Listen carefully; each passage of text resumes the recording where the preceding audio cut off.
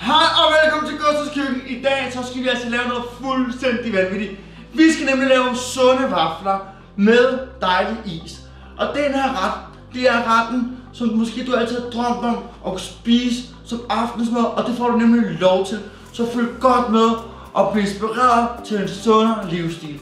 Vi skal starte med at lave isen. Isen består af bananer, som der selvfølgelig er lige frosset, jordbær der også frosset, Hindbær er der også frosset, skyr, mælk og sødemiddel. Alt det her, det skal blendes, og så skal det bare lige fryse i en halv times tid, imens vi laver vaflerne. Lad os komme i gang.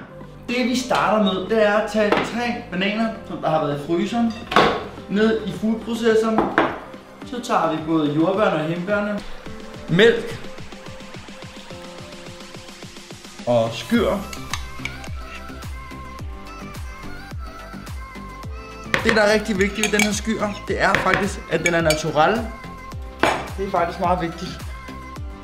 Og så sødmiddel.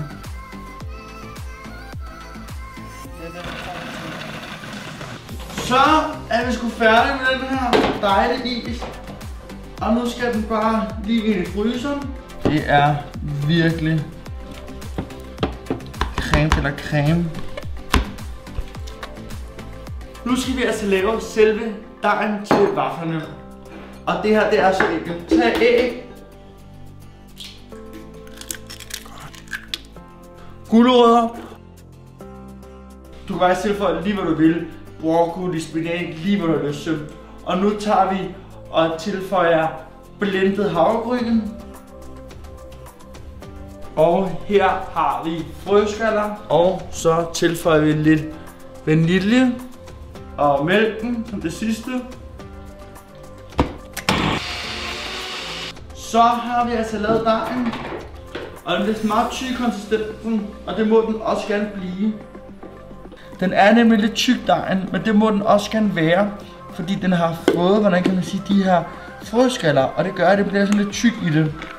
Grund til, at jeg bruger, hvordan kan man sige, de frøskaller i den her dej, det er så, at vaflen kan holde fast, og så det bliver sådan en god konsistens. Så har vi her vaffeljernet. Og der er det bare rigtig godt at tage noget smørelse ind. Nu kan bruge lidt olie, lidt kokosolie, lidt plantesmør. Nu vil jeg bare lige tage lidt kokosolie her.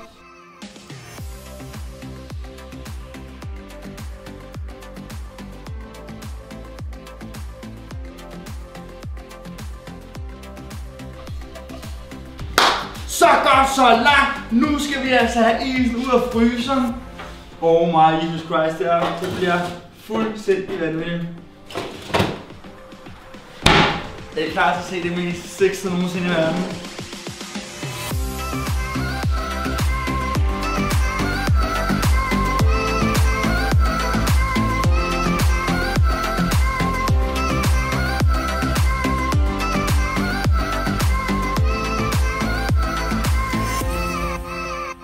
Så er der altså tid til smage.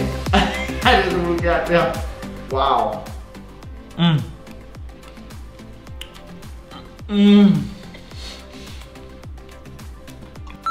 Hvor er det lækkert. Undskyld. Undskyld.